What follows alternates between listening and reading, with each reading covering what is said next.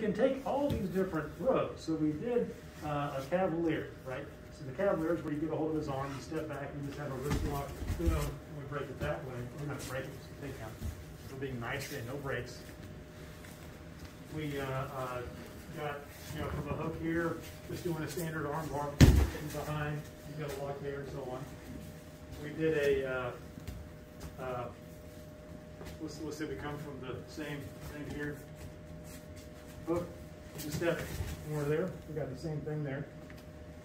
And then last one, of course, everybody's favorite tilt. So we could go from the same hook here from one, to our same position there. Because what makes a tilt work is you push the small to back as well. So can we take any of these blocks and in a modular fashion stick them onto any of the Krav Maga techniques we did earlier? The answer is sure. So let's say he does, I don't know, a wrist grab or something. And now he's got the wrist. Boom, boom. We've got these things. So we go from here, magic. The guard walks there. Then we go from, I'm to do a thing. Or no, oh, we do like this.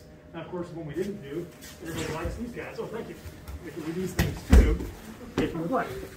But that's not on the list I just did, so sorry. We'll do that again. Oh no, boom. Then we go from here, cross the space, go tilt. Our check here, I got that. We could hit him, but we're trying to be nice. Could we do like, uh,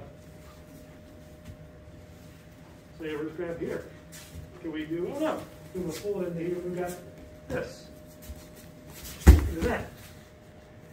That maybe. So we can take really any of those blocks, and you'll find that you'll fall into one of them that works really well, whatever, whatever position you're playing with. Go.